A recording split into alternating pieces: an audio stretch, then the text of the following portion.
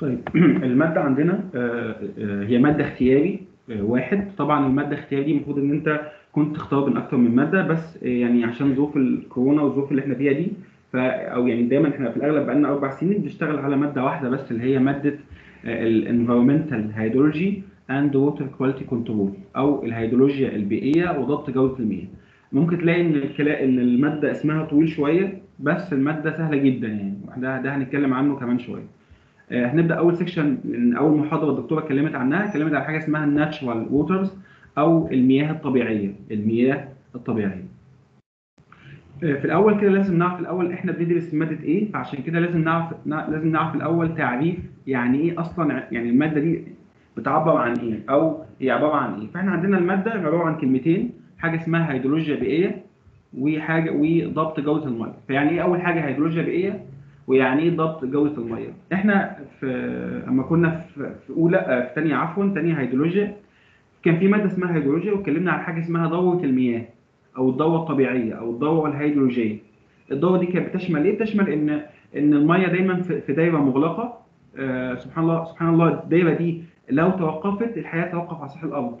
فلازم يكون في بخر للمية البحر وبعدين الرياح بعدين يحصل المي البخر ده يطلع لحد طبقات الجو العليا.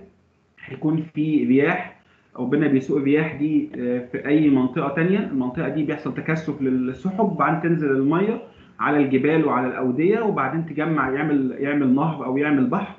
المية دي وهي ماشية ممكن يحصل لها بخر تاني النباتات دي ممكن يحصل لها نتح زي ما إحنا خدنا في تانية مدني.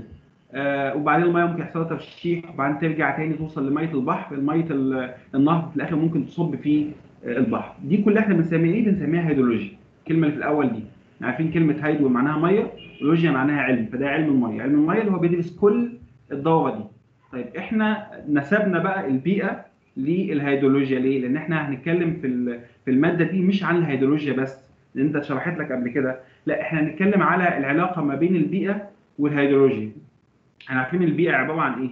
البيئة دي كل ما يحب الإنسان أي حاجة حواليك دي بسميها بيئة. الكائنات الحية النباتات ال- الحيوانات ال- كل حاجة موجودة حواليك حتى الجماد دي تعتبر آه، البيئة نفسها. فإحنا هندرس إيه؟ هندرس الفرع ال- ال- ال- ال- الهيدرولوجيا البيئية دي دي فرع من فروع الهيدرولوجيا لأن الهيدرولوجيا دي أكتر من فرع. في هيدرولوجيا حيوية وفي هيدرولوجيا حرارية في من ضمنها الهيدرولوجيا البيئية. الهيدرولوجيا البيئية دي بتعتمد على إيه؟ إنها بتشوف العلاقة ما بين الضوء المائية والتفاعل ما بينها وبين البيئة اللي فيها الإنسان والكائنات الحية الإيه؟ المختلفة زي الحيوانات والنبات إلى آخره. يبقى أول جزء إحنا دايما هنهتم بيه وإحنا بن- بنشتغل في المادة نهتم بالميه وتأثير المية دي أو التفاعل ما بين المية نفسها وبين الإنسان والحيوان والنباتات. طيب الجزء الثاني من الموضوع وده على فكرة اللي إحنا هنتكلم عليه أكتر بقى. يعني الجزء الأول ده ممكن ما نتطرقش اليه كتير قوي في في في المادة لكن الجزء الأكبر هو موضوع ضبط جودة المياه. أو اللي إحنا بنسميها ال water quality control أو ال water quality management إدارة أو ضبط جوده ضبط جودة المياه. دايما كلمة water quality دي اللي إحنا دايما بنتكلم عليها ممكن نسميها جودة ميه أو نسميها نوعية ميه لو أنا طول ما أنا بشرح قلت نوعية ميه أو جودة ميه هي هي. ما تفرقش معايا طب إيه بقى موضوع آه، ضبط جودة الميه دي؟ الميه نفسها اللي إحنا بنشربها دي في البيت آه، آه، هي عبارة عن آه، آه، آه، عناصر جواها عناصر. عناصر طبيعية زي الرصاص زي الحديد زي المنجنيز زي ال ال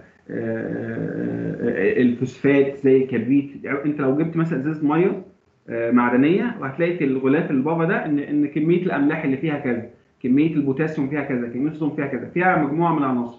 إحنا عايزين نظبط أو عايزين نتحكم في جودة المية دي بحيث إنها تكون مناسبة أما أجي أشرب. تكون مناسبة أما أجي آه، أسقي بيها الأرض تكون مناسبة أما أجي أدخل الميه دي للمصنع عشان أعمل مثلا عصير مثلا. تكون مناسبة إن أنا أشتغل بيها في أي مجال من مجالات الحياة.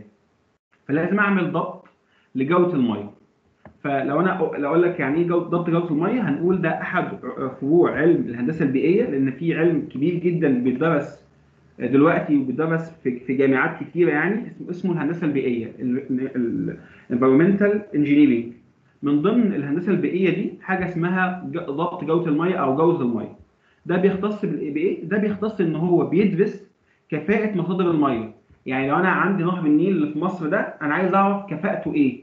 يعني المية اللي أنا باخدها منه إحنا في الأغلب بنشرب في محطات مية موجودة على طول نهر النيل إحنا بناخد منها مية. فأنا عايز أدرس كفاءة المية دي. هل المية دي صالحة للشرب؟ هل المية دي صالحة للاستخدام في الزراعة؟ هل المية دي صالحة للاستخدام في الصناعة ولا لأ؟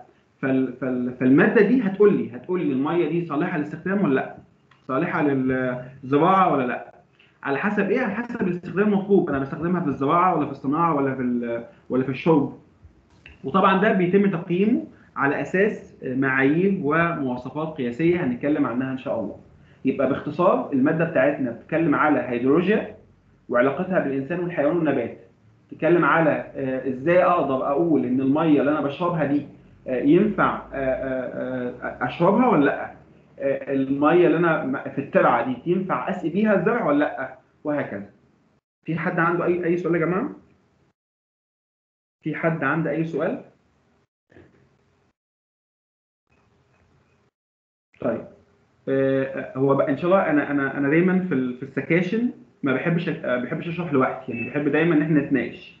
فانا ممكن وإحنا بنتناقش دلوقتي هختار واحد منكم وإحنا قاعدين كده واسأله سؤال. ما فيهاش إحراج. هو حتى لو ما أعرفش الإجابة ما عنديش مشكلة بس يكون آه، مركز معايا.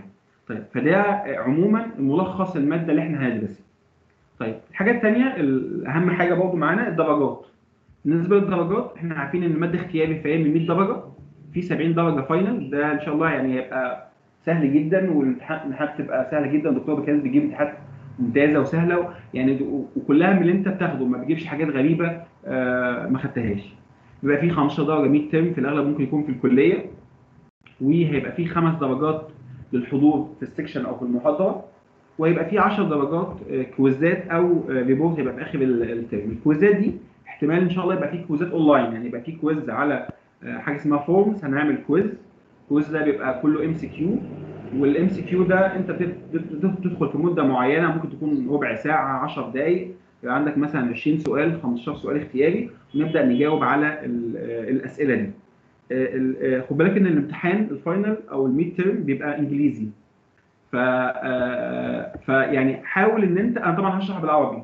هشرح بالعربي ليه؟ عشان أي أبسط شوية المادة ليكوا يعني. المحاضرة كده بتبقى إنجليزي. بس أنا هحاول شوية إن أنا يعني أغلب الشرح هيبقى عربي لكن المصطلحات نفسها هتبقى إنجليزي. فأنت لازم تاخد بالك أو دايما تخلي عينيك دايما على الكلام اللي بالإنجليزي ده مهم قوي عشان الامتحان بيجي الأسئلة كلها بالإنجليزي. حتى الكويزات اللي أنا هعملها هنا مع إن أنا بشرح بالعربي بس هعمل الكويزات دي بالإنجليزي عشان تتدرب على الامتحان بتاع ال mid term وعلى الإيه؟ على ال final. ده بالنسبة للدرجات. بالنسبة للمحتوى بتاع ال- ال course المفروض هو محتوى يعني كبير ما شاء الله بس إحنا هنبقى مختصرين جدا في كل نقطة من النقط دي.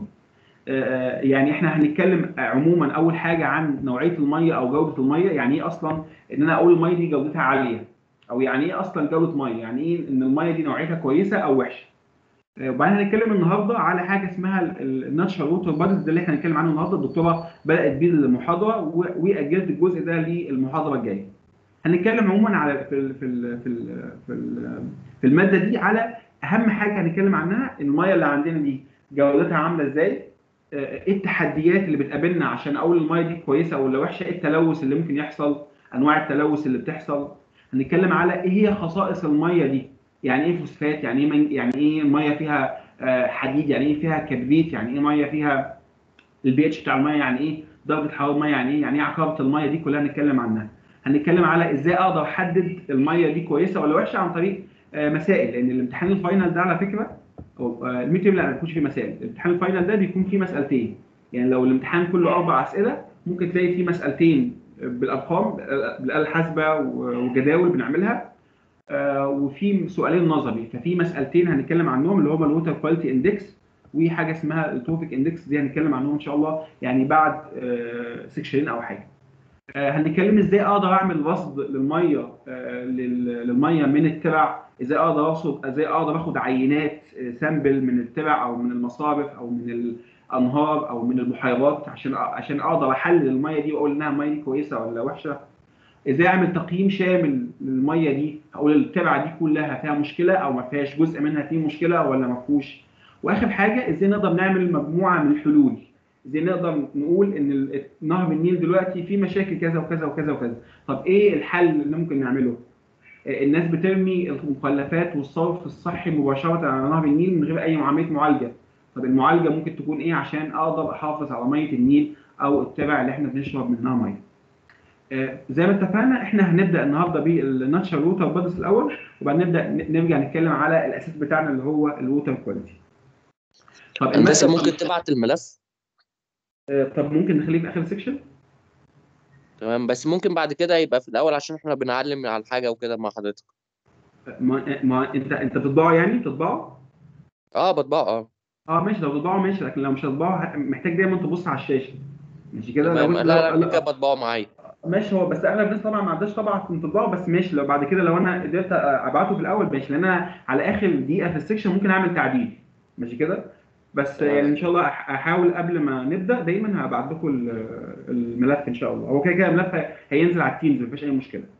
آه، تمام. ماشي يا محمد. طيب آه، آه، المادة دي مهمة ليه؟ يعني ليه المادة دي مهمة؟ طبعا أغلب الناس ممكن تقول المادة دي مش مهمة قوي لكن أنا رأيي أنا أنا تخصصي أصلا المادة دي. أنا تخصصي في الماجستير اللي أنا اخدته كانت كانت المادة دي ده التخصص بتاعي الأساسي يعني. آه، ليه مهمة المادة دي؟ مش محاباة اللي أنا التخصص بتاعي بس ال- المادة دي مين هيحتاجها؟ هيحتاجها مهندس الري. لو في ناس من عندنا اتخرجت وكان في مسابقة في وزارة الري فلو حد مثلا مشروع جوده مية هيبقى له الأولوية في إن هو اشتغل جوده مية آه، واشتغل فيها. فرقم واحد الناس المهندسين اللي هيشتغلوا في الري. رقم اثنين الناس اللي هتشتغل في آه، محطات الصرف الصحي والمعالجة. أنا أعرف ناس صحابي في السعودية شغالين في محطات الصرف ومحطات الشرب وعملوا إنشاءات ليها وبعدين بيحتاجوا مهندسين ضبط جودة فممكن يحتاجوا الكورس ده. بحيث إن أنت لما تتخرج إن شاء الله يبقى معاك material ممكن الحاجة وقفت قدامك تفتح المحاضرة تفتح ال section يبقى عندك جزء من ده. وإحنا عارفين إن كده كده مواد رابعة تبقى مواد متخصصة أكتر. آه، في مثلا حاجة آه، لها علاقة مثلا بالكباري بس لها علاقة بالأنفاق لها علاقة بال آه، يعني في دايما تبقى مواد متخصصة أكتر من إنها تبقى مواد أساسية لأن أنت خلاص يعني مهندس لا ترم يعني فاضل لك ترم بس واحد وايه وتتخرج طب إحنا نبدأ النهارده نبدأ بالحاجة اسمها ال natural water bodies يعني خصائص نوعية المياه. عفوا خصائص المياه الطبيعية أو الماء أو صور تواجد الميه في الطبيعة. لو جينا نتكلم على صور تواجد الميه في الطبيعة آه، أول حاجة في حد عنده أي سؤال يا جماعة لحد دلوقتي؟ في حد عنده أي سؤال؟ آه تمام يا هندسة. ماشي يا محمد. ماشي بس أنا بس بستأذنك لو في حد عنده سؤال يرفع إيده وخلاص ماشي؟ وأنا هقول له يجاوب ماشي يا محمد شكرا. طيب أول حاجة نتكلم على حاجة اسمها ال natural water bodies أو صور تواجد المية في الطبيعة. يعني إيه ال bodies يعني إيه؟ يعني إيه جسم جسم المية الطبيعية؟ إحنا دايما هن, هن عايزين إيه؟ نتعامل مع المية هنا أكنها جسم بشري أكنها حاجة بقدر ألمسها أو حاجة موجودة فبسميها body يعني مثلا لو أنا هتكلم على ترعة فالترعه دي من أولها لآخرها بسميها جسم الترعة عشان أقدر أتعامل معاها بصورة أسهل. ماشي كده؟ فإحنا عايزين نعرف صور تواجد المية في الطبيعة. المية في الطبيعة ممكن تبقى موجودة بشكل عامل إزاي؟ فإحنا قسمناها بأربع أنواع أساسية. طبعا في تقسيمات تانية كتير بس ده أشهر التقسيمات. أول حاجة قلنا حاجة اسمها flowing أو running water. المية والناس ممكن بقى تكتب بقى يعني ممكن الناس تبدأ تكتب عشان لو في حد عنده أي حاجة أو أو أو أي سؤال وبعد كده يجي يذاكر يبقى معاه الحاجة دي. هنتكلم أول حاجة عن حاجة اسمها ال water أو ال flowing أو ال running water المية الجارية أو المية ال- ال- اللي بتتحرك. طيب حد حد عنده مثال يعني يعني المية بتتحرك موجودة في الطبيعة؟ زي إيه مثلا؟ لو حد عنده جواب ممكن يرفع إيده أو أنا هختار. لو ما لقيتش حد بيرفع إيده هختار. ماشي كده؟ إيه المية الموجودة في, ال... في انت بتعدي عليها بتلاقيها بتتحرك في الطبيعة زي إيه مثلا؟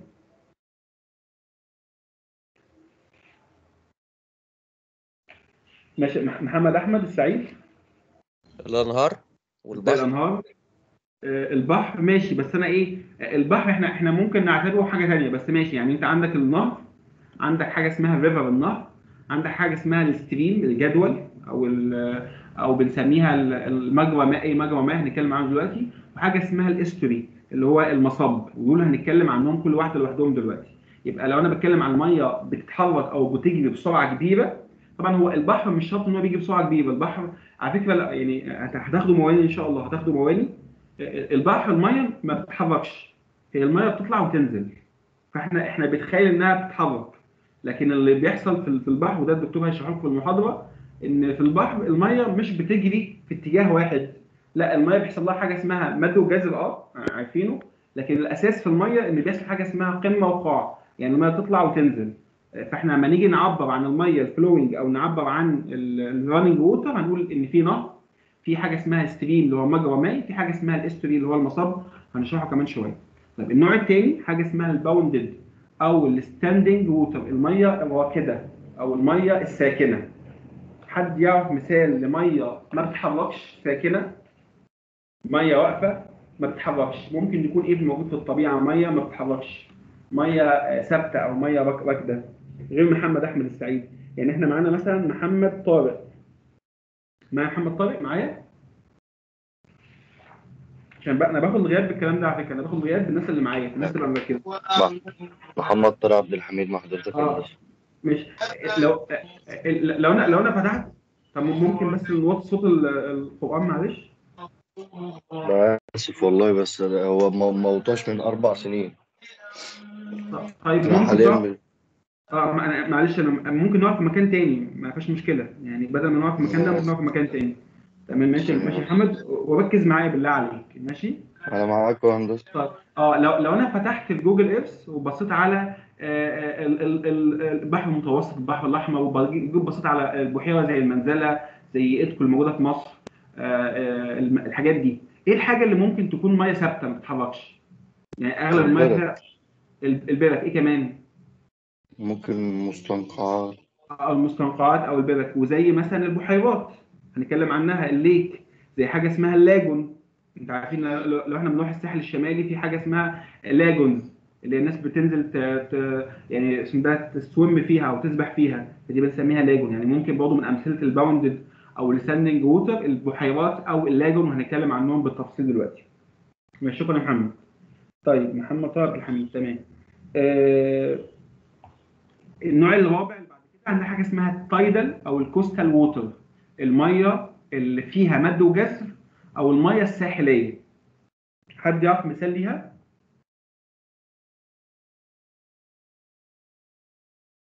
أنا عايز حد غير محمد إبراهيم أبو الفتوح واسمحوا لي بعد كده يا جماعة أنا هقول الاسم مثلا الايه اللي هو آخر اسم فيك عشان طبعا كلنا كلنا أغلبنا محمد. فيعني إن شاء الله هقول مثلا ابو الفتوح أقول ربيع مثلا وهكذا. طيب ما إحنا معانا آه، مايكل مجدي؟ معايا مايكل؟ أيوه هندسة. آه لو لو قلنا إيه المية اللي ممكن تكون موجودة في الطبيعة وتكون فيها مد وجزر أو أو مية ساحلية زي إيه مثلا؟ بحار هندسة. الله ينور عليك يعني زي البحار. زي المحيطات زي الخليج يعني البحار زي الخليج زي زي المحيطات زي الخليج مثلا. وده هنتكلم عنه برضه كمان شوية. شكرا يا مايكل.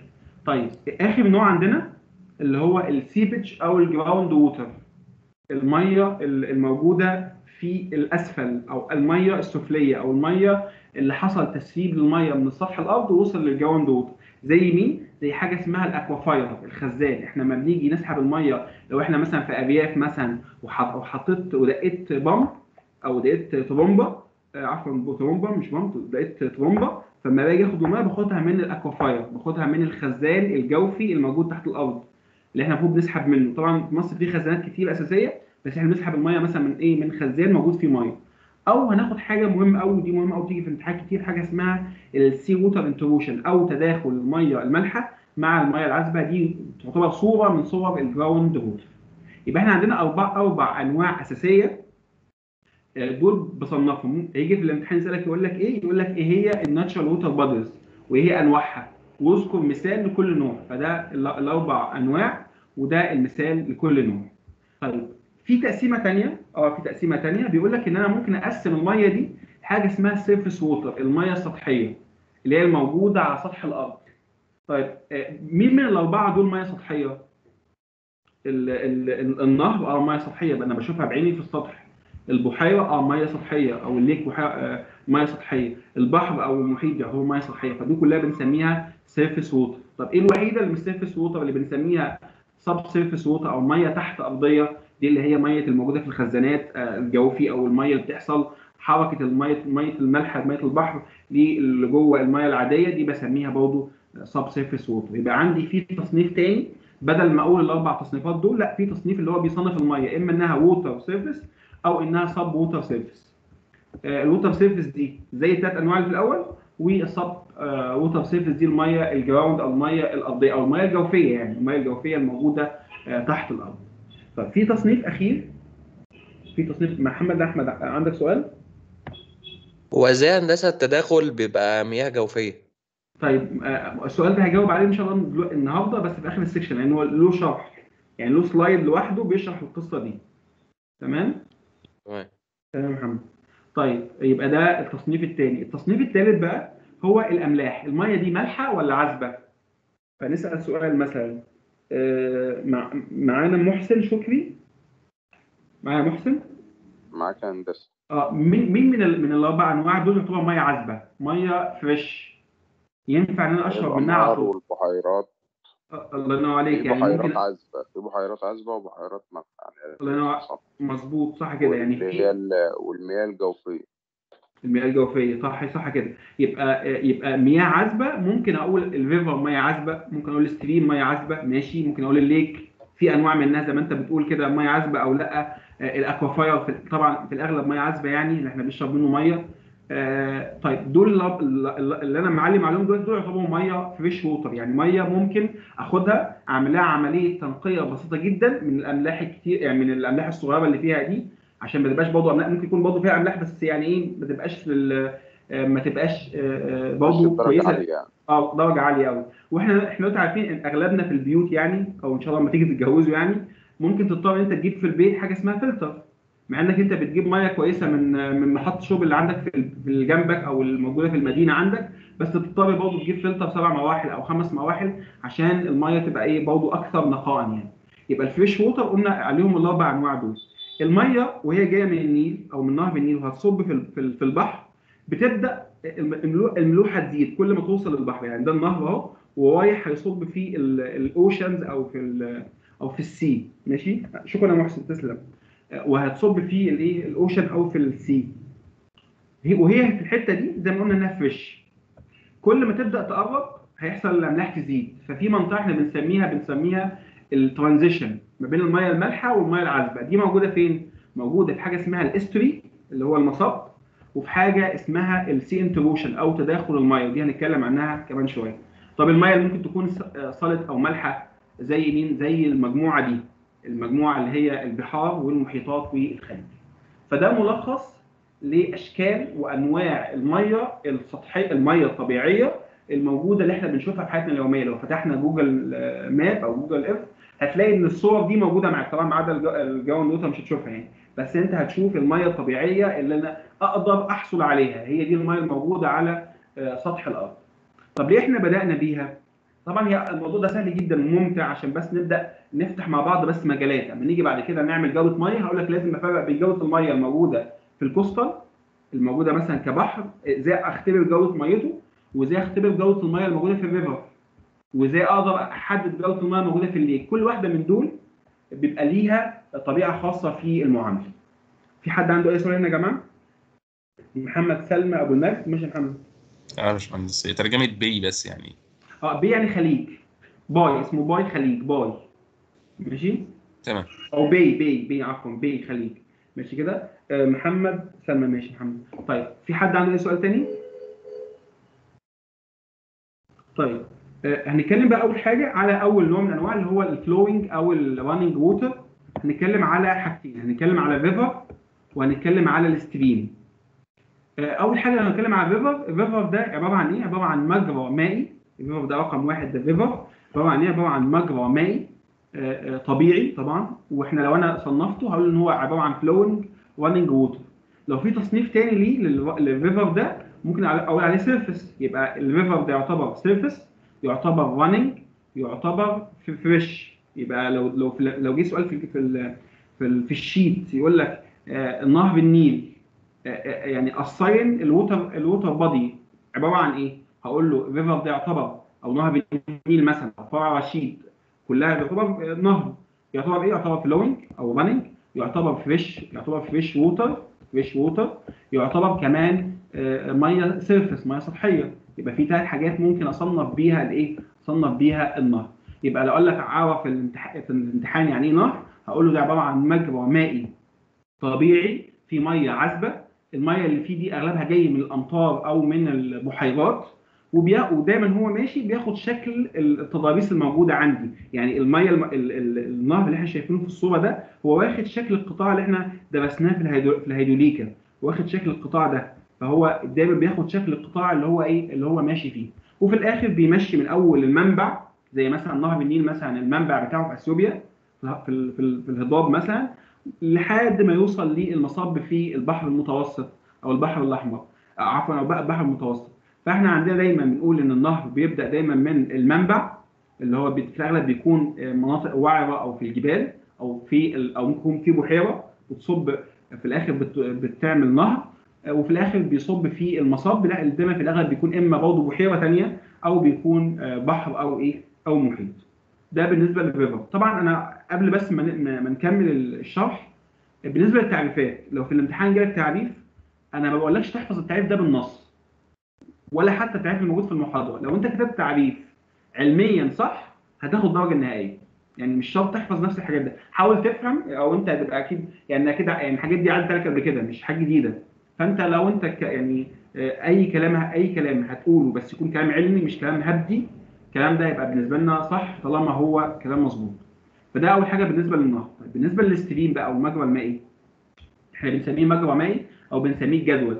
ده برضه أحد الموارد المائيه السطحية. يعني ممكن أعتبره برضه fresh وأعتبره برضه surface وأعتبره برضه إن هو إيه؟ إن هو running water وده عباره عن نهر صغير شوية أهو يعني تلاقي عرض هنا صغير ممكن أنا أعديه من غير محتاج مركب فده بسميه آه، آه، مجرى مائي أو بنسميه جدول آه، وده بيتغذى في الأغلب إنه أو أو, أو مصدره في الأغلب بيبقى اما مية جوفية بتيجي من تحت الأرض وبعدين تبدأ تغذيه أو بيبقى فيه مثلا ينابيع أو في أمطار هي اللي بتعمل إيه؟ هي اللي بتعمل الجداول دي أو الجدول ده. لو أنا جمعت مجموعة من الجداول مع بعض بيتجمعوا مع بعض زي مثلا نهر النيل ده بيبقى فيه أكتر من جداول هي اللي بتملاه في الآخر أو زي نهر النيل زي أنهار تانية لو أنا مجموعة من ال streams أو من الجداول لو اتجمعت وبقت في آه، في في حاجة واحدة يعني ده مثلا ده جدول وده جدول وده جدول أو ده stream وده stream تاني لو اتجمعوا مع بعض والتقوا في نقطة وعملوا وعملوا stream كبير ده بسميه إيه؟ بسميه river يبقى ده river ودي يعتبر إيه حاجة اسمها ال streams أو المجاري المائية. فلو جينا نسأل حد فيكم مثلا كده محمد آه، زكي. محمد زكي معايا؟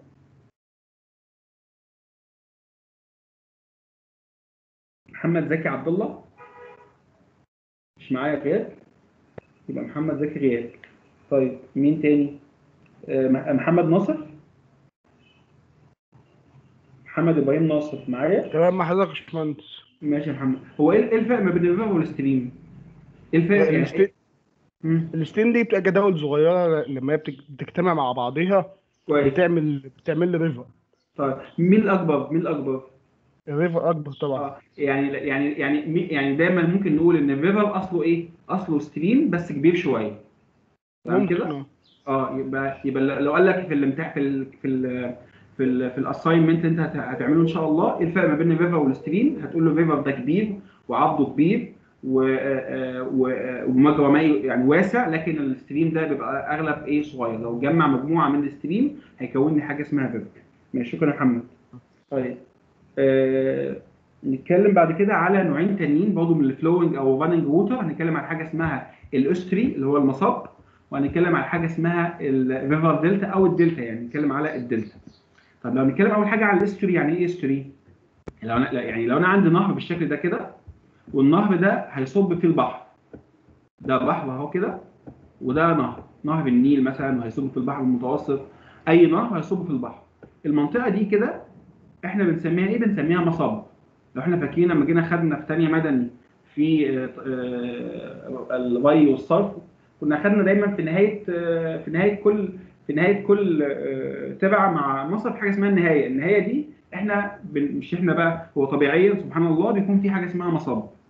هو ده المصب يعني ده نهر هو بيجي هنا كده وقبل ما يوصل في المنطقة دي بيبقى في هنا منطقة المنطقة الأخيرة دي إحنا بنسميها المصب بتاعت مين؟ بتاعت النهر جوه البحر. ده البحر اهو وده ال ال ال النهر نفسه.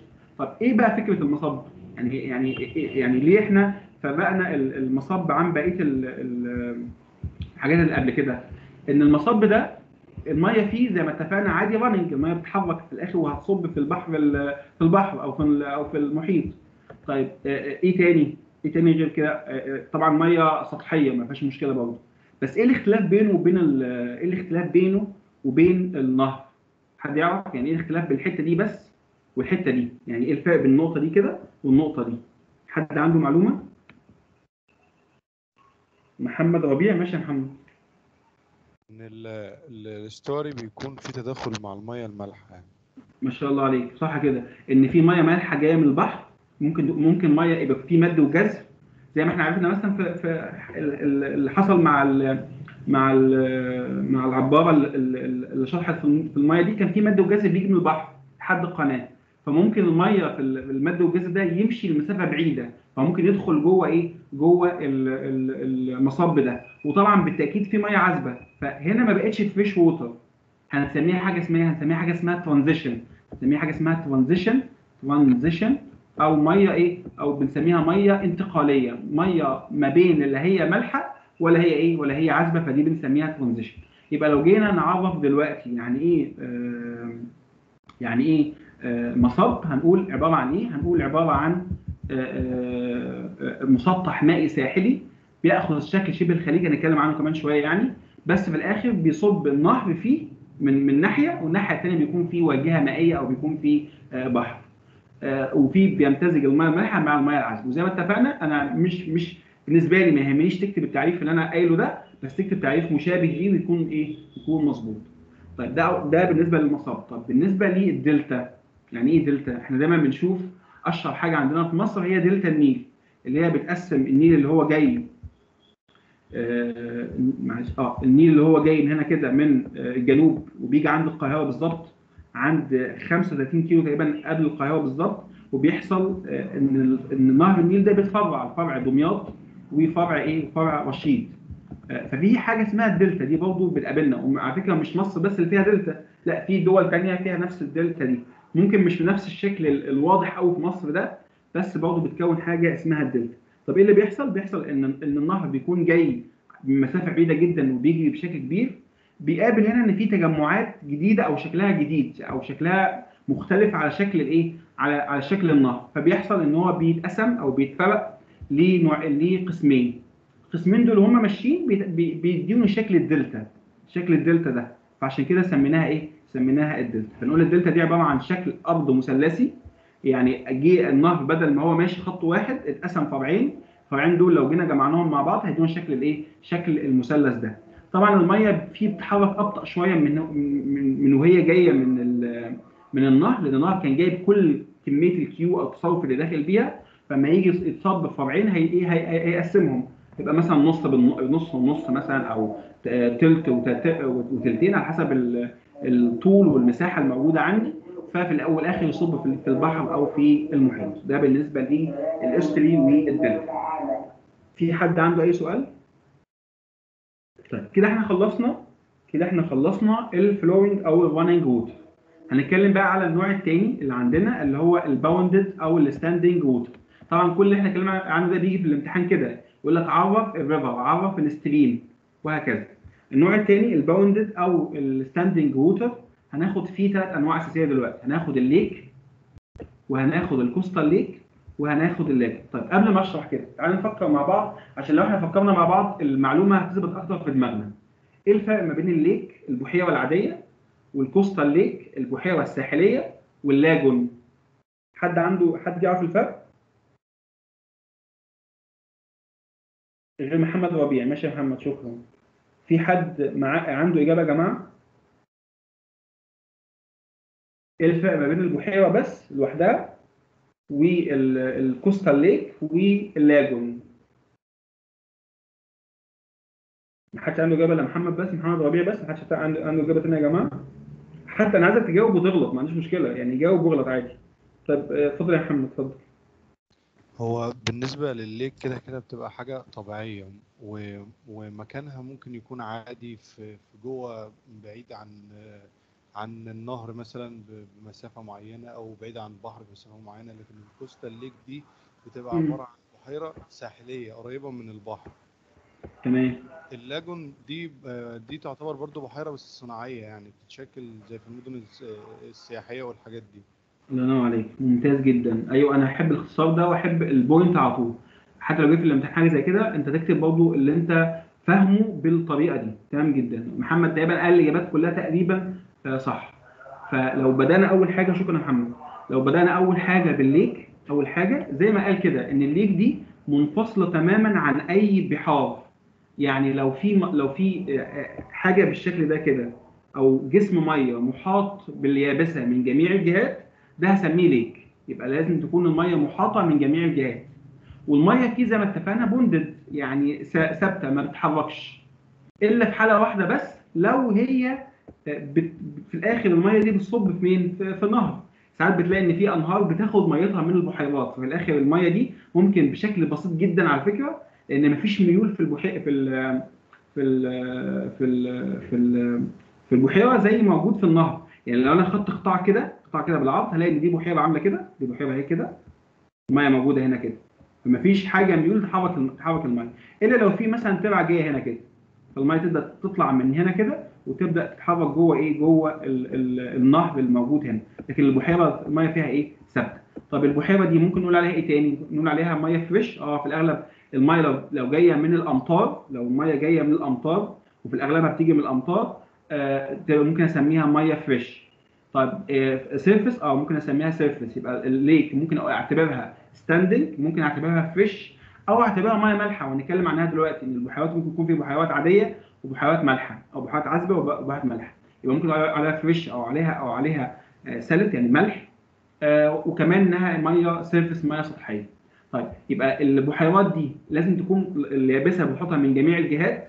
آه، المية ممكن تكون مالحة أو عذبة مية آه، آه، راكده اغلب الأغلب البحيرات دي بتتكون عن طريق الأمطار أو عن طريق لو في مية جوفية. ممكن إيه؟ ممكن تعبي الايه ال- البحيرة دي. طيب لو أنا بقى هتكلم على آه، لو أنا هتكلم على ال- ال- النوع الثاني من ال- النوع الثاني اللي عندنا اللي هو ال- ال- ال- الكوستال ليك أو البحيرات الايه البحيرات الساحلية. زي ما قال برضه محمد قال قال إن البحيرات الساحلية دي اللي هي بتكون قريبة أكتر للبحر. يعني أما يكون ال- البحر قريب من البحيرة كده دي بحيرة أهي دي بحيرة أهي وآدي آه، ال- ال- المحيط أو البحر. لو البحيرة دي قريبة من البحر وفي بينهم اتصال بسيط على عبر قناة القناه دي بنسميها بوغاز. لو تسمعوا على البوغاز بتاع اسكندرية بوغاز موجود في اسمه ده في في دمياط. البوغاز ده قناة صغيرة كده زي قناة السويس بس أصغر. القناه دي بتربط ما بين البحر وبين البحيرة. وطبعا في الحالة دي في الأغلب بيحصل برضه تداخل ما بين الميه المالحة والميه العذبة. فأغلب البحيرات الساحلية بتكون ميه مالحة. ممكن تكون ميه عذبة لأن ممكن لأن ممكن اللي بيغذي البحيرات دي على فكرة مش شرط بس الأمطار. يعني البحيرة دي أو البحيرة دي ممكن يكون في تبع أو في مصارف بتصب جوه البحيرة. وفي الآخر وفي, الآخر ال- ال- التبع والمصارف دي عبارة عن ميه عذبة. فممكن تغذي برضه البحيرة دي أو تغذي البحيرة دي من الجنب ده. ففي الأغلب الميه دي إما إنها تكون ميه عذبة لو هي مثلا بالشكل ده ان إن بس تبع بس والأمطار هي اللي بتغذيها ممكن تكون فيها جزء منها مالحه لو في اتصال بينها وبين ال- الساحل أو بينها وبين البحر وممكن يكون في خلط بين الميه المالحة والميه الإيه؟ والميه العذبة. لو ما. لو ما فيش ال- ال- التبع أو المصارف اللي بتصب جوه البحيرة دي أنا هعتبرها ميه مالحة ليه؟ لأن البحر كله هيدخل يفضي فين؟ يفضي في البحيرة. يبقى أنا عندي ده النوع الثاني من الكوستال ليك هي برضه عبارة عن ليك عادية خالص بس بتكون قريبة من البحر بتكون برضه محاطة باليابس من جميع الجهات ما عدا بس جهة واحدة هتلاقيها متصلة بالبحر عن طريق إيه؟ عن طريق قناة ملاحية بنسميها بوغاز. طب النوع الثاني بقى اللي هو ال lagoon أو البحيرات الصناعية. هي الصح إن إحنا ما نقولش بحيرات صناعية لأن في lagoon طبيعي يعني في lagoon موجود في مصر ممكن يكون طبيعي يعني لو لو أنا واحد دهب أو واحد آه، آه، راس أو في أماكن معينة في سيناء فيها lagoons من غير أصلا ما يكونش صناعي يعني هو lagoon طبيعي. بس طبعا لازم لو أنا عايز أفرق ما بين ال lagoon وال- وال coastal lake أو ال lake هقول إن ال lagoon ده عبارة عن مية مالحه يعني وفي الأغلب هي مية البحر أصلا يعني دي ما فيهاش أي مصدر مية عذبة بيصب فيها لا في أمطار ولا في أي ترع أو مصارف بتصب فيها. لكن اللي بيحصل اللي بيحصل إن إن المية بتكون جاية عادي خالص على الشاطئ وفي فتحة صغيرة هنا كده وقمنا هنا يعني مش عاملين هي طبيعيا لقينا في lagoon زي ده. أو زي ما قال محمد دلوقتي من شوية إن ممكن إحنا نعمل لاجون عشان ال- الناس اللي بتيجي تصيف في ال في ال في الساحل الشمالي ال- القرية السياحية وفي فندق على البحر ممكن يعمل لنفسه لاجون يحفر حفر بسيط كده ويعمل لاجون. طب بستفاد إيه؟ بستفاد إن المية هنا في الحتة دي لو الناس بص على الصورة دي هتلاقي المية في الحتة دي مية آه، عالية وفيها أمواج عالية وفيها مد وجذب كبير. لكن المية اللي هنا هنا هتلاقيها هادية قوي ما فيهاش مد وجذب وما فيهاش حركة كتير فالناس تعرف آه، يعني تستجم وتنبسط براحتها فدول كده الثلاث أنواع اللي عندنا. طيب ممكن حد باختصار كده يقول لي برضه بعد ما أنا شرحت إيه الفرق الرئيسي ما بين ما بين الليك والكوستال ليك واللاجون؟ من حيث نوع المية بس. أنا عايز من حيث نوع المية. يعني المية ممكن تكون هنا إيه وهنا إيه وهنا إيه. حد ممكن يجاوبني ولا أختار؟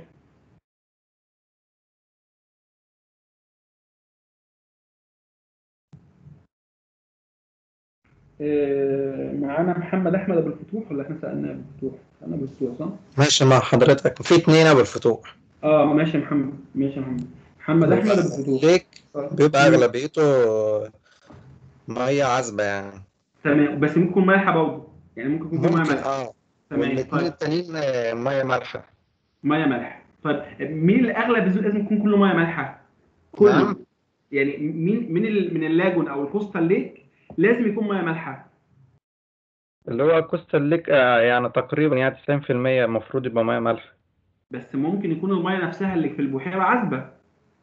يعني ممكن. ممكن آه يعني الميه الميه في البحيرة نفسها ممكن تكون عذبة وهي في الأصل على فكرة إنها عذبة الأصل إنها عذبة. وفي ميه مالحة جت من البحر فممكن يبقى فيه جزء مالح وجزء عذب أو يبقى فيه خلط. لكن اللاجون ده لازم 100% يكون إيه؟ ميه مالحة. مالحة كده. يبقى صح كده؟ يبقى يبقى إحنا قلنا البحيرة ممكن تكون عذبة أو مالحة وفي الأغلب بنسبة كبيرة جدا تكون عذبة طيب بالنسبة للكوستال ليك آه، في الأغلب بيكون في خلط ما بين الميه المالحه والميه العذبة طيب ال- اللاجون بنسبة كبيرة جدا وبنسبة يعني تتعدى مش نسبة هي لا 100% لازم تكون مية إيه؟ لازم تكون مية مالحة. المفاجأة على فكرة إن المفاجأة يعني إن مثلا إحنا عندنا مثلا في مصر عندنا في مصر في حاجة اسمها خمس بحيرات عندنا مثلا بحيرة إدكو بحيرة المنزلة بحيرة البرلس لو نسمع عنها آه، البحيرات دي كلها ممكن نعتبرها إيه؟ هي في الأغلب هي coastal لو coastal lake. يعني هي في الأغلب coastal هي طبعا ال coastal lake ده نوع من أنواع ال lake يعني. فهي أول حاجة lake. وهي عشان على البحر فبنسميها coastal lake. وممكن في الأغلب كمان عشان الميه فيها بقت في الأغلب كلها مالحة من كتر ما الميه الم- الميه المالحة دخلت جوه البحيرات دي فإحنا سميناها لاجن شفت المفاجأة الكبيرة؟ إحنا عندنا على الساحل البحر المتوسط في بحيرات شمالية مشهورة جدا على فكرة. اسمها مثلا بحيرة لو الناس تسمع عنها مثلا البولس أكيد الناس تسمع البولس والمنزلة. البحيرات دي هي اسمها ليك طبيعي. وعشان هي قريبة من البحر فسميناها كوستال ليك. وعلشان ال- الاتصال ده فينا بواغيث كتيرة هنا بتصب في البحيرة دي. فمن كتر ما المياه المالحة ومفيش أي عملية صيانة في البحيرة ومفيش عملية اهتمام بال water quality أو بجودة الميه البحيرات دي أغلبها بقى مالح فسميناه lagoon شفنا إحنا وصلنا لإيه للمرحله إن هي أصلا كانت coastal أو كانت lake وصلت إنها بقت lagoon فده مهم قوي ناخد بالنا منه. في حد عنده أي سؤال يا جماعة هنا؟ إحنا خلاص فاضلنا ربع ساعة وهنخلص. طيب النوع ال- اللي بعد كده من ال pond ال ponded أو ال standing water هنتكلم على حاجتين تانيين. هنتكلم حاجة اسمها ال wetland وحاجة اسمها reservoir أول حاجة نتكلم على ال wetland. ال wetland دي إحنا بنسميها الأماكن أو الاراضي الرطبة. يعني إيه اراضي رطبه آه، آه، لو أنت بتشوف الجزر بتاعت نهر النيل إحنا عارفين إن نهر النيل فيه جواه جزر. يعني آه، في حاجة اسمها جزيرة الوراق لو الناس تسمع عنها. الجزر دي موجودة جوه النيل.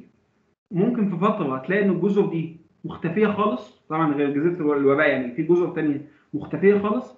وفي وقت من اوقات السنة تبقى الجزيرة الجزيرة دي واضحة وباينة خالص. يعني أنا كنت كنت في الجيش مثلا وكنا بنروح الجزر دي كنا مثلا نروح أوقات تلاقي جزيرة عايمة على سطح البحر ع- عارفة عايمه على سطح النهر نهر النيل؟ وأوقات تانية مش موجودة إحنا لسه مش شايفينها أصلا تحت المية. يعني في أماكن بتبقى المية موجودة فيها ساعات طول طول طول أيام السنة زي البحيرات. وفي ساعات بتبقى المية موجودة فيها آه، آه، في أوقات موسمية. نستفيد منها إزاي؟ إن إحنا ممكن نزرعها في الوقت اللي هي فوق نزرعها ونسيبها تنزل آه، اما المية تعلى تنزل تحت المية آه، بعد فترة بتطلع تاني عشان المية انحصرت أو قلت وأقدر أحصد الإيه؟ المحصول. فالاواضي الرطبه دي اواضي مهمة جدا جدا سواء كانت للإنسان من حيث الزراعة سواء كانت للحيوانات والنباتات إنها بتنمو أو بتقعد أو دايما بت- بتكون موجودة فيها. في حاجة اسمها الطرق المهاجره أغلب الطرق المهاجرة في العالم كله لها مسار ثابت على طول أيام السنة. من اغلب من أهم المناطق اللي بتقف فيها هي مناطق الأراضي الرطبه اللي هي بيكون فيها آه، آه، الجو فيها ممتاز جدا فتسمح إن الحيوانات أو الطيور تنمو وتتعايش في المناطق اللي زي دي. مش شرط تكون المية بس يعني آه، موجودة في فترات. لا لو المية موجودة طول السنة ممكن برضه أسميها إيه؟ أسميها wetland فمن أنواع ال wetland اللي موجودة عندنا هي البحيرات زي ما خدنا. يعني ممكن أقول على ال lake إنها wetland على فكرة. ممكن أقول على ال coastal lake إنها wetland. ممكن أقول على البحيرات ال coastal lake إنها آه، آه، wetland. ممكن أقول على المستنقعات أو البرك لأنها في أوقات بتكون فيها مية وأوقات لأ. النهر نفسه وهو ماشي كده لو في نهر كده ماشي لو في نهر ماشي كده. في أماكن على الجنب هنا كده ساعات ساعات بت... بيبقى فيها مية وساعات لأ. أما المية تعلى تملاها والمية أما تبقى محصورة ما تملاش فالمناطق اللي حوالين النهر لو ده نهر ماشي في الطريق في الاتجاه ده ممكن برضه يبقى فيه إيه؟ يبقى فيه حاجة اسمها ويتلاند يبقى لو قال لك في الامتحان يعني إيه ويتلاند هتقول له دي الأراضي الرطبة الم- المية تبقى موجود فيها إما طول السنة زي البحيرات أو البحيرات الساحلية أو موجودة فيها أوقات معينة من السنة زي مثلا المستنقعات أو البرك وهي مهمة جدا لل- للزراعة أو للحيوانات والطيور المهاجره. طيب دي بالنسبة لل wetland طيب ال reservoir أو الخزان حد يعرف حاجة عن الخزان؟ حد سمع قبل كده عن حاجة اسمها ال reservoir أو الخزان؟ لو كده حد ممكن يرفع إيده. الخزان أو الريسيفوار معانا محمد طارق؟ ماشي يا أحمد ماشي يا محمد أحمد. معانا محمد طارق؟ عبد الحميد. محمد طارق هندسة محمد طارق عبد الحميد. أه في محمد طارق عبد القادر. عايز محمد طارق عبد القادر. شكرا شكرا محمد. محمد طارق عبد القادر. معايا؟ معايا يا محمد؟ محمد طارق عبد القادر مش معايا؟ طيب غياب ماشي. طيب محمد طارق عبد الله عبده معايا؟ معاك يا باشمهندس. طيب الخزان. إحنا عارفين مثلا حاجة زي خزان أسوان عارف خزان أسوان أو خزان السد العالي صح؟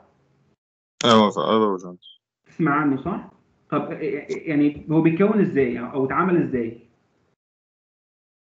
لا هو الصراحة مش عارف مش عارف إيه- تكوين لا يعني هو هو اتكون يعني ليه ليه المنطقة دي بقى فيها خزان اشمعنى؟ يعني اشمعنى عند أسوان بقى في حاجة اسمها خزان أسوان؟ يعني إيه اللي خلى يكون في خزان أصلا؟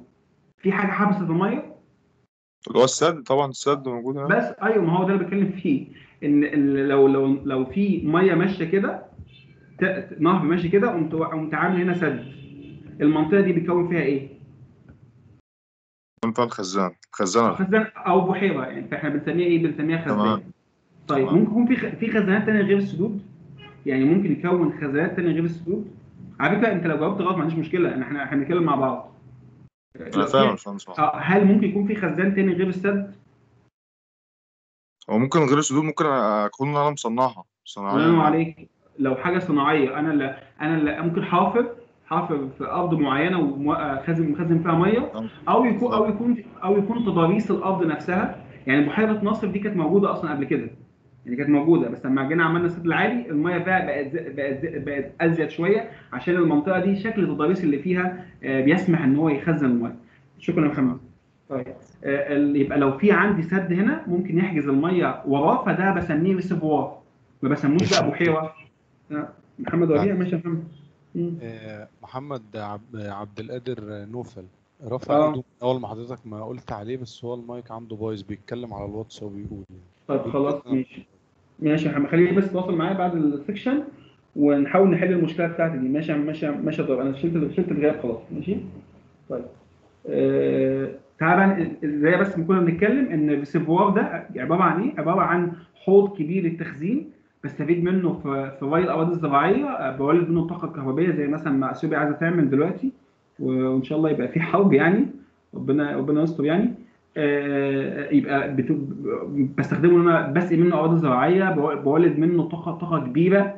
وطبعا ممكن يكون زي ما زي ما اتكلمت مع محمد من شوية دلوقتي انه ممكن يكون طبيعي إن أرض طبيعية موجودة بالشكل ده أو يكون صناعي. أنا اللي أنا اللي بعمل الإيه؟ الحوض آه، الصناعي أو الحوض الإيه؟ الطبيعي. فده بنسميه reservoir يبقى في فرق ما بين ال reservoir وما بين ال lake. يعني في فرق ما بينهم لازم نعرف الفرق ده.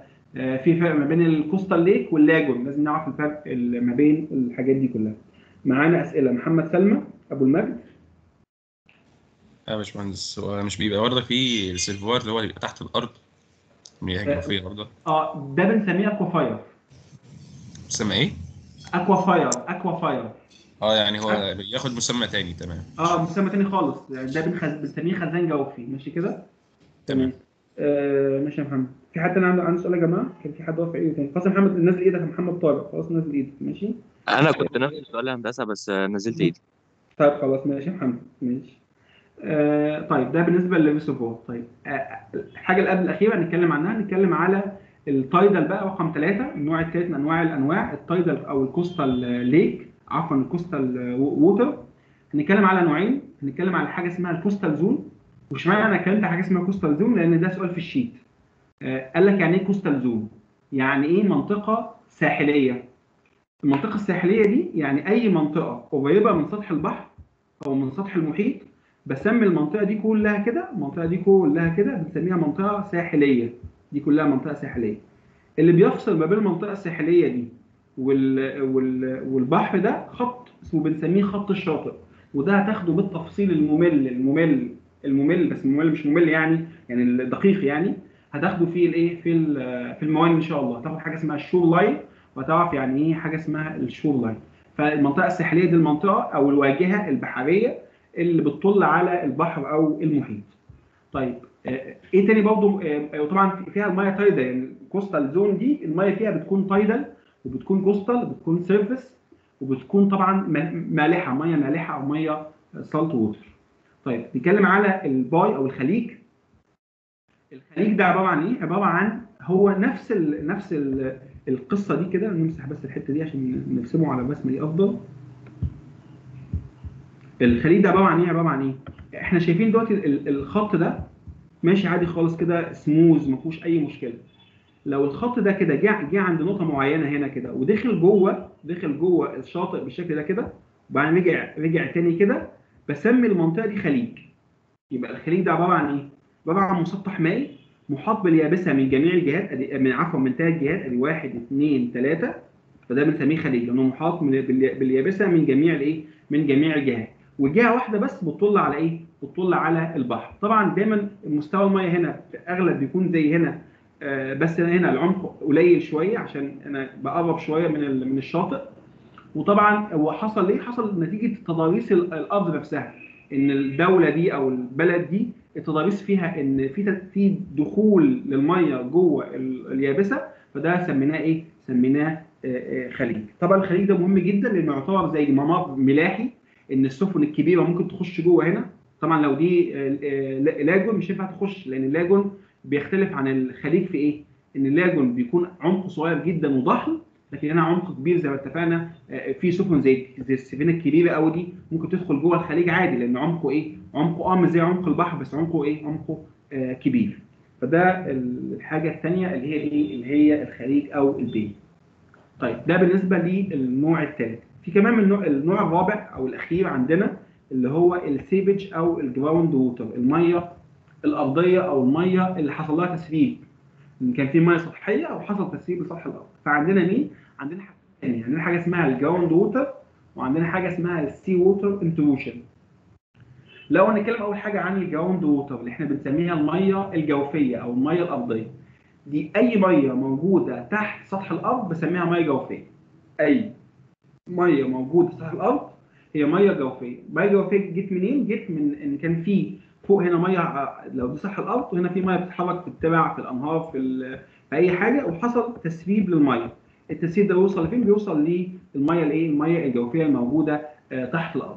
فالمصدر الرئيسي للميه الجوفية دي إما بيكون الأمطار نفسها اللي بتصب على الجبال وفي الآخر تنزل جوه الأرض أو الأنهار اللي ماشية على الأرض دي بت بت بتحاول تعمل حاجة اسمها تغذية إحنا دايما بنسمي المية اللي جاية من من النهر أو من الأمطار لمنسوب المياه الجوفيه ال groundwater level ده ده إحنا بنسميه تغذية ان بيحصل تغذية أو شحن للمية الجوفية.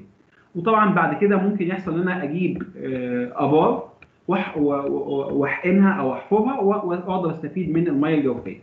لو جينا نتكلم عن المية الجوفية هنقول عليها إنها seepage أو ground water رقم واحد. ممكن نقول عليها كمان إنها subsurface water ميه تحت أرضية مش مية أرضية وفي الأغلب بتكون مية عذبة أو مية fresh water طيب تعالى نتكلم عن آخر حاجة وأهم حاجة اللي هي ال sea water intrusion sea water intrusion ال sea water intrusion ده أو بنسميها تداخل المية المالحة مع المية العذبة. إحنا ال- الصورة دي لازم نبص عليها كويس قوي ده أرض عادية خالص أرض عادية خالص أو أو منطقة ساحلية وده مستوى سطح البحر وده ال ground water table اللي حصل نتيجة إيه؟ نتيجة إن في أمطار نزلت هنا في ترعة أو نهر موجود في أي حاجة عملت تغذية لمية الميه العذبة جوه ال- ال- ال- الأرض فبقى عندي هنا حاجة اسمها خزان أرضي زي ما أنا لسه قايل من شوية إن في حاجة اسمها خزان أرضي أو خزان جوفي اللي هو بنسميه aquifer الخزان ده جواه جواه مية اسمها إيه؟ اسمها fresh water لحد دلوقتي مفيش مشكلة يعني لحد دلوقتي كده مفيش أي مشكلة خالص. هنا في مية عذبة ولو في أي بني يعني أي واحد مننا آه، عايز يشرب مية هيقوم جاي هنا ومدق بيب عادي خالص كده وب- وبيبدا يسحب مية من أول الخط ده. مفيش أي مشكلة. طبيعي عادي والدنيا الدنيا لحد دلوقتي يعني تمام وبيس وكل حاجة. إيه المشكلة بقى؟ المشكلة إن هنا في مية مالحه وهنا في مية عذبة. طب المية المالحه كثافتها أعلى من كثافة المية العذبة. الضغط بتاعها أعلى من ضغط المية العذبة. وزنها أكبر من وزن المية العذبة. إيه اللي بيحصل؟ هنا بيكون دي عبارة عن تربة على فكرة. التربة دي فيها فتحات. فالفتحات دي ممكن تعمل إيه؟ ممكن تخلي المية الع- المالحة دي تتوغل وتدخل جوه اللي هي الس- ال salt water دي اللي هي موجودة في ال- في البحر تتوغل وتدخل جوه المية الإيه؟ العذبة. طب إيه مشكلة ده؟ مشكلة ده لو في حد بيسحب هنا بس عمل سحب غير آمن يعني إيه سحب غير آمن يعني بدأ يسحب كميات كبيرة جدا من المية لدرجة إن هو بدأ ال ground water ده ينزل تحت ينزل تحت نتيجة إن أنا بسحب كميات كبيرة من المية فبعد فترة بعد فترة بدل ما هو يسحب fresh water هيسحب إيه؟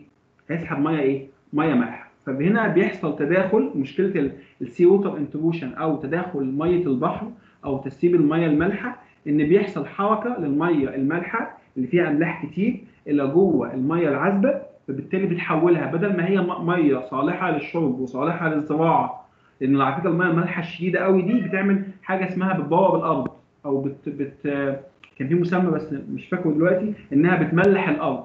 الأرض لو مالحة مش هتزرع آه، نباتات معينة كتير يعني. فلو حصل إن أنا سحبت كميات كبيرة من المية المية ال fresh water دي للأسف هتتحول لمية مالحة وبالتالي يبقى في مشكلة كبيرة في المنطقة دي. ده باختصار جدا. طبعا انت ممكن تقرأ الكلام ده كله وده شرح اللي أنا شرحته من دلوقتي عشان لو في الامتحان سألك يعني إيه ال sea water intrusion وبالأغلب بيسألك السؤال ده مهم قوي فهتقول له آه، الشرح اللي أنا لسه قايله دلوقتي. في حد عنده أي سؤال في الجزئية دي يا جماعة؟ محمد السعيد. ماشي يا محمد. ويعني إيه مية تحت أرضية هندسة؟ آه، ما تحت أرضية يعني تحت الأرض. يعني يعني يعني هي اللي هي ال ground water المياه الجوفية. لا أصل حضرتك قلت في مياه جوفية وفي مياه ما تحت جو... آه، لا لا لا هو- أنا قلت أي ميه موجودة تحت سطح الأرض بنسميها ميه جوفية أو بنسميها تحت الأرض فبنسميها تحت أرضية مفيش فرق بينها. لكن إن شاء الله بعد بعد بعد كده لما تيجي مثلا تاخد مواد زي زي مثلا حاجة اسمها ال ground water بس تاخده كمان ده لوحده بس كده أو أعتقد أنتوا خدتوها في أعتقد خدتوها في الجيولوجيا لو دكتور أسعد دكتور أسعد آه، مطر هو اللي اداكم المنهج ده عفوا عفوا في الجيولوجيا يعني. كان شرح إن في طبقات تحت ال ground water في طبقة ممكن أسحب منها مية وطبقة لأ. لكن إحنا بنسمي إحنا هنا دلوقتي في المادة دي هنسمي أي مية تحت الأرض بنسميها المية الجوفية أو بنسميها المية تحت أرضية. طب والفرق ما بين إن المية بتصب في ال- يعني. إن النهر ده بيصب في ال- البحر هو ده مش والتداخل نهر هو ده مش نهر. هو ده أي منطقة ساحليه معرضة لل sea water intrusion لكن ال estuary أو المصب ده لو في نهر بيصب في بحر. يعني هنا هنا آه يعني هنا هنا مفيش بحر. آه، عفوا هنا مفيش نهر. ده بص كده ده ساحل البحر أهو وده بحر وده أرض عادية أرض يابسة. بيحصل ما بينهم حاجة اسمها إيه؟ معايا؟ بيحصل بيحصل حاجة بينهم اسمها إيه؟ لو في بحر وفي أرض عادية بيحصل حاجة اسمها إيه؟ sea water intrusion هل شرط يكون في آه، نهر بيصب هنا؟ لا. طب لو في نهر هنا بيصب في الحتة دي كده بسمي ده إيه؟ بسمي ده estuary أو مصب. يبقى المصب لو في نهر بيحصل مصب لكن لو مفيش مصب وفي أرض عادية خالص بيحصل حاجة اسمها sea water intrusion وصلت كده؟ تمام؟ تمام يا محمد طيب آه في حد يا جماعة عنده أي سؤال في الجزئية دي؟ حد عنده أي سؤال؟ إحنا كده خلصنا المحاضرة. تمام. أنا ما سألتش فيها كده انها غياب ولا حضور. لا لا عادي. طالما أنا أنا ما ما سألتكش يبقى أنت معايا. أنا بس يعني عاي- أنا بس إيه إيه بحاول بحب الناس تشارك معايا بس. ماشي كده؟ أنا كده كده هاخد الغياب كله بالإكسل. أنا ممكن بس نوقف خالص كده ال- ال- الفيديو ونتكلم مع بعض.